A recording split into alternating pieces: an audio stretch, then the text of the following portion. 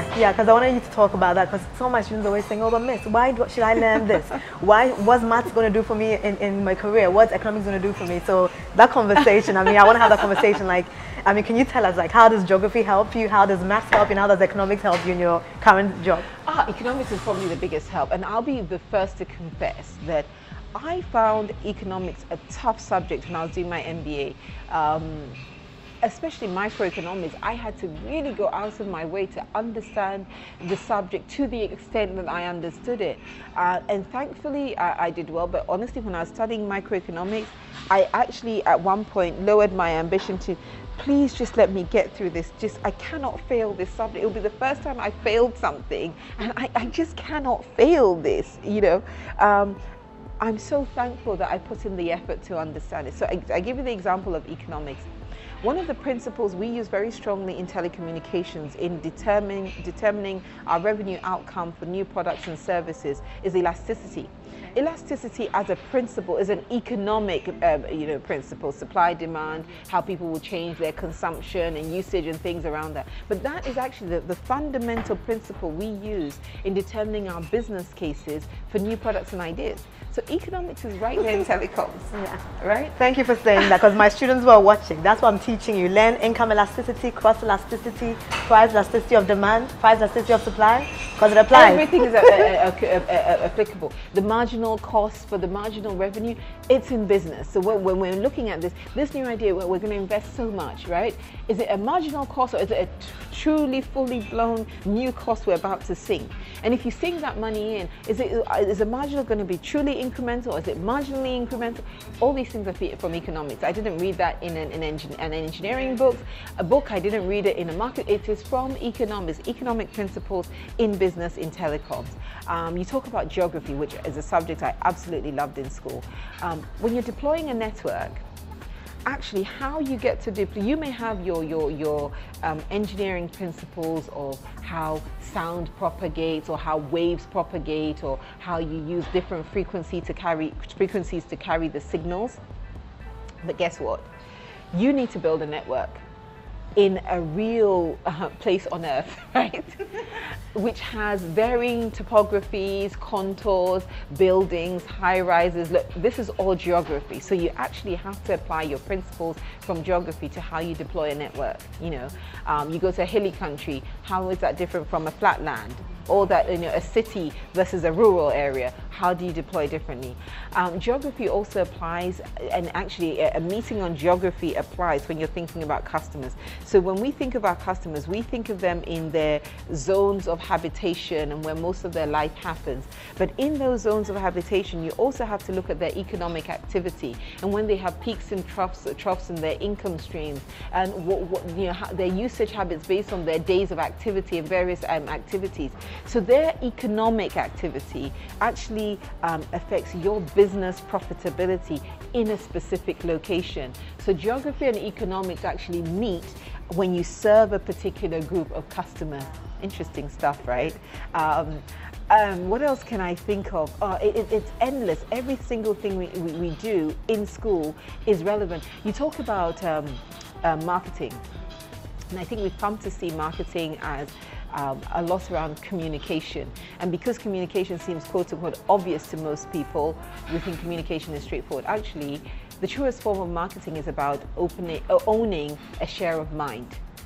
It's about owning a share of your customer's mind. That's more you know, the psychology of a human being in marketing um, than just saying, you know, I put out a message. So when you're, you're in that class and you're doing all those um, lessons around psychology and you're thinking, oh, point of saying, I don't want to become a psychologist. I'm not going to put someone in a chair and start picking their brain. You're not, but as a marketer, you must. You absolutely must, otherwise you're not getting very far. And bear in mind that different groups of people um, think and behave slightly differently, their socialization, and so many, see, look at me talking about socialization in business, and I'm sure when um, teachers are talking about it in school, kids are, why do I need to know this?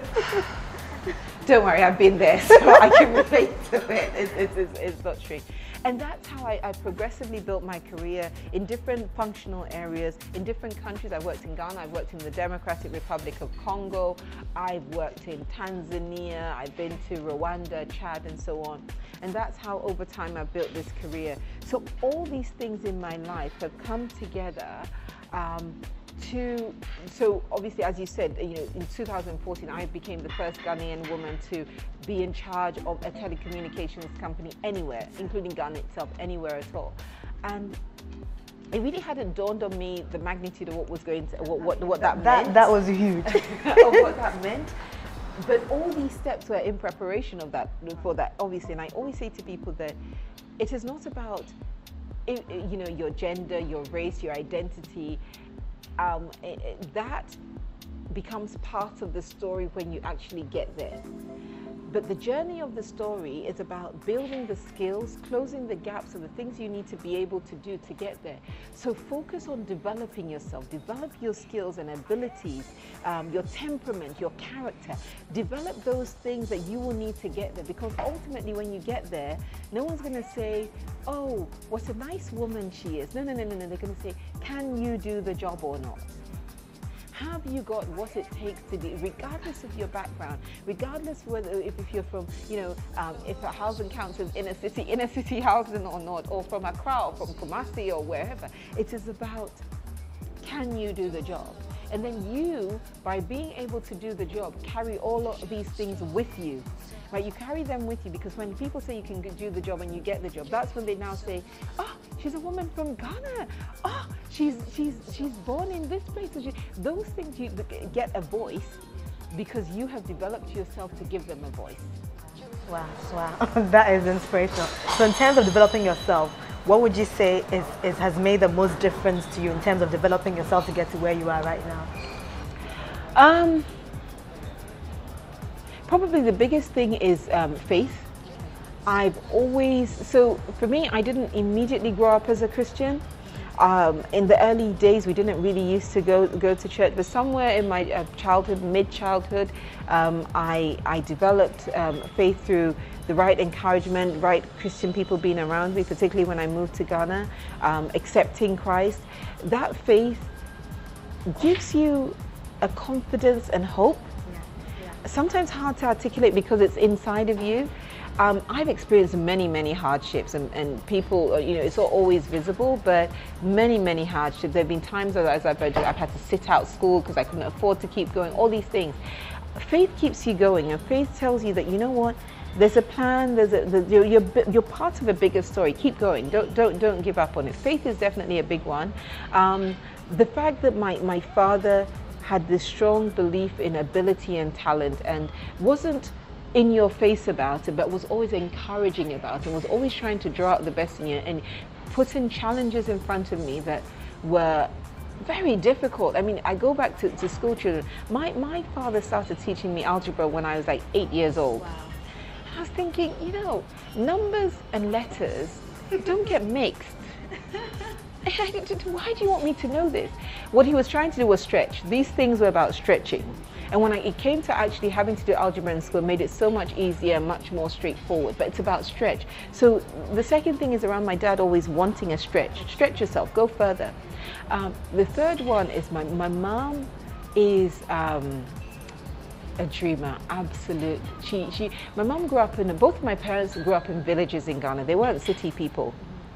And my mom always tells the story of being in, uh, being a schoolgirl and every time she would see a plane fly over, she would say, I'm going to be in a plane one day.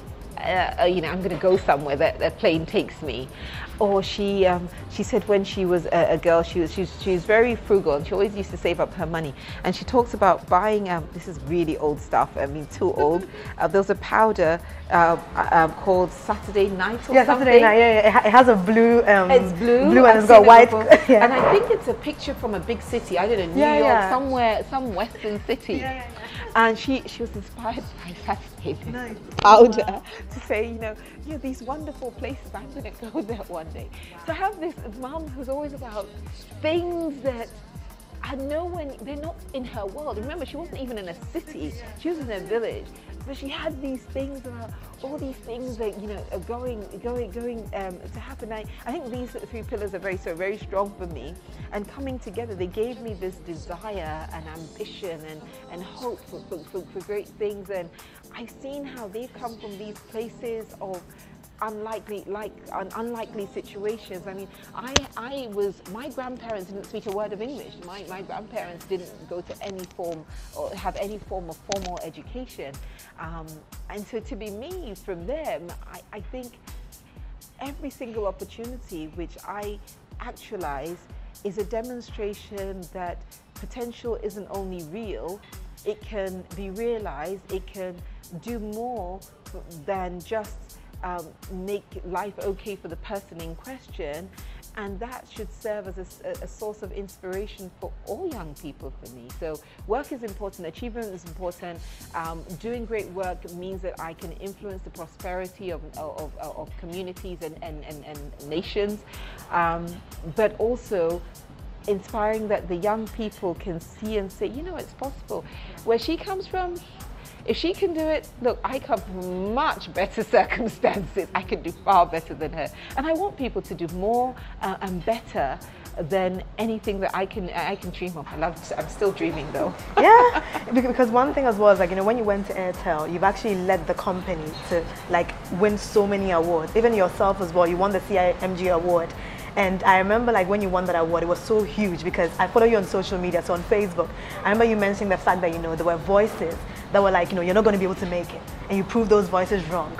So my next question is, you know, obviously we've all got goals and dreams and ambitions, and we've always got voices that are like, oh, why are you doing this? You can't do this.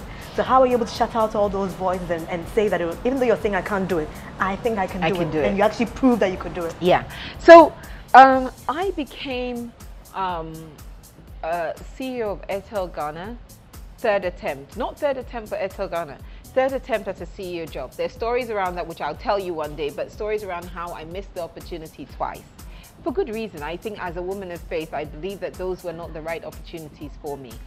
But it also meant that every single time it didn't happen, it was more training time. When you expect things to happen though and they don't happen, and a lot of the time I go back and I have a conversation, I pray and I say, God, you know, what, what's going on? You know, I don't understand. And I'll be the first to admit that sometimes in the immediate aftermath, it involves actually feeling quite low, sometimes even crying and saying, oh, this is so upsetting. But you have to be determined that, that, that those periods of uh, periods that remind you that you're human. They remind me that in feeling low, yes, I'm, I'm a human being and I need to let those feelings out, but I shouldn't stew in them. So I don't allow myself to continue and have uh, turn into a long-winded pity party of how unfortunately this one opportunity didn't work out. Um, so it may last a day, maybe sometimes too, but I don't allow it to drag on. And you get back on into your faith, your focus, your hopes, your dreams, your aspirations, and the work you need to get there. Remember that the person who's saying no to you, they're part of your story too. It is their job to be a blocker for now to something much greater. Don't let that voice become the voice because the voice said no. That voice's no is probably a required no, but a short term no. It is, it is not your voice of determination and aspiration and, and hope for the future. That's not the purpose of that voice. So determine that you have to understand when you're listening to, and when I say voices, I don't mean crazy stuff, I mean people actually speaking to you. What is the purpose of that voice? Because that will just help you recognize whose voice do you listen to yeah. in that yeah. situation. Yeah. Because the code that you use, you're always saying that discern the voice that's for you. Yeah, it's something I learned from yes. you. You always say discern. I'm like, that's a very powerful statement. You must be discerning. Mm-hmm. Um, that voice may be there for, for, for now, but it's not the voice of the of your long term future. And so I always reminded myself that you know we're on a we're on a mission. There's a vision. There's a plan. You know in your heart what you're capable of and what you're going to do and what you're going to achieve and attain. So keep at it. Don't don't stop now. And and and ultimately, what I've learned from this experience is that when I actually got to become CEO of Airtel Ghana, it was a much bigger opportunity than any of the other opportunities that had gone by. And I tell you why. It gave me the, the platform on, on, on, uh, to, to actually do a lot more of the things that I aspired to do than any of the, the opportunities that passed me by would have amazingly. I have had the opportunity to inspire an organization. I've had an opportunity to see young people grow in their potential. I have, I have an amazing team of people at Airtel who are inspired and driven, who are um, focused on their customers in ways that are unusual and the unusual, the, the unusual nature of it has led us to innovate in ways that people go, how did you guys do that? We did it because every person who works in, um, at Airtel Ghana, every single one of those young people is someone I look at and I see myself in. And is someone who I say, you have got what it takes, give me what you've got. I don't say to them, I have all the ideas and, uh, and everything, I know everything we're going to do. I said, I, I say to them, show me you, show me what, what's in there, what you can deliver. And because of that, they're able to do even much more than they can imagine themselves, right? It also means that as an organization, we go out there and we reach out to customers. Yes, we do CSR activities, but we go beyond that. We do activities that actually change the way the communities, you know, interact with our services because CSR is charitable and it's, um, it's a responsibility, but business can even go beyond that to influence positively how people live their lives. If I bring you a service that makes your business more effective, it's probably more useful to you than me just handing you some money to, to invest in your business because I'm bringing you technology that, that can influence your business. So I work for an inspired organization of people and because of that, because of the power of all these hundreds of people out there in the market with the, with the, with, with the people, um, it's been recognized by the country. Um, the, the, CIMG Marketing Woman of the Year is, is awarded to a businesswoman who has made significant, a transformational, significant difference to her business that has impacted the whole country. And it's not just about telecommunications, it's about business as a whole in Ghana. Um, it was an unexpected, life-changing experience for me. Um, I, I couldn't have imagined what was to follow that award.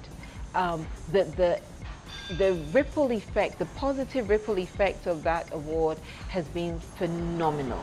Yeah, and an inspiration for us all. Because I remember when you won it, I was like, if Lucy can do it, like the sky's the limit. Like Absolutely. I mean, yeah. I mean, Absolutely. it was huge for all of us. Huge. Thank you. So, so it's been an inspiration. I've, I've also used it as a platform so it was a platform on which I launched my um, engagement with schools. So again, I went back to the drawing board with my teams and said, what do we do with this? We win such a huge award. It has to serve more um, of a purpose than being, a, you know, uh, a plaque or uh, uh, a trophy or um, in my office. It has to do more. So we came up with um, initiative, an initiative that we call um, Evolve with STEM. STEM because my background obviously is in engineering, science, technology, engineering and mathematics. I love these subjects. Um, STEM because we, I believe that when you look at the context of, of Africa or any community in the world that needs to develop, where we are today, those who are behind versus those who are ahead of the pack, there's, there's, there's a actually a really big, big gap. And I believe STEM provides an opportunity to accelerate the closure of the gap. If we just carry on doing things manually, um, look at this interview, you're going to put it out there, and because of technology, hopefully lots of people are going to get to watch this, and when they watch it, they're going to share it with other people and tell them about it. And the message of, of being um, inspiring people to do and be greater is going to get to hundreds, thousands, even more of people because technology is allowing us to do that. So I believe that STEM has a great role to play in accelerating our development. So we launched the platform um, and I've gone into schools, different schools. I, I typically go to schools um, where children are more disadvantaged um, and I do two main things. One is I've got to tell them to dream. You, you, you, you know, I'm. I, you have to dream. dream bigger, expect more, and get involved in STEM. Not because you have to become a doctor or an engineer. You may not. I became an engineer. You may not become that. But because whatever profession you end up in, STEM is going to make you that much more efficient, effective, um, your your ability, your problem solving abilities, you know, that, that, that math you're doing in school will teach you how to break a problem down into the, the you know, the constituent parts, the drivers of the pro problem. You know, it's like having a, a, an equation in maths, right? This side of the equation gives you something on the outside, and sometimes this side is just an answer if you reverse it, and this is actually the problem you're trying to solve, then you're, you're, reversing your math to say, what are the steps and the operations and the numbers that I need to work out to, to, to solve this problem? It's pretty much the same principle. So that's the idea of you know, encouraging more and more children into STEM to say, it, it matters, it will make you much more effective in what you choose to do. And if you can use STEM in what you do, you will actually drive more change and development and growth quicker in ways that we need. So um, I've been to, I've actually had so far been able to meet thousands of children, thousands, which is, you know, it's still mind-boggling how when we take an advantage of opportunities, it just, it goes so far, thousands of children. I've managed to so far be in, I've gone to four different um, regions in, in the um, country and we're still going with Evolve with STEM. But what's even more remarkable, completely unexpected, is that so many people have now used this as um, inspiration to launch their own initiatives around STEM. So someone can write to me and say, I'm in such and such village, there was no STEM activity in, in the school, so I started a STEM club, or I started a science club, or I started a coding club. And people are doing all these things. And there were few people who were doing them before, but once I, I made this uh, a big agenda that has national and actually now international visibility, people are taking inspiration and going ahead and, and, and launching their own that for me is, is a, a, much greater reward because you know single-handedly I have physical human limits to how many people I can reach. Technology helps me reach more. But if we could get hundreds, thousands of people out there inspired to do similarly, relevant to the context they're in, imagine how many children we're going to, you know, impact positively. That's a powerful story. There's something I wanted to ask you as well. Like when I did a lot of research about you, it talks about your transformational leadership skills and also about your ability to like when it comes to strategy. And I remember listening to an interview once where you said that when you went to Airtel, you didn't go there to impose. You actually went there to actually sit down, talk to different people within the organization. You said you locked yourself into a room after you'd actually got that research. And then basically from that, you developed a strategy to get Airtel to where it is right now. Can you sort of like talk us through the process? Like, I mean, like, I mean, how do you inspire your team in terms of strategy to to, because I realize that with you, it's not about like imposing on what your team should do. You actually work alongside them to get them to where they are.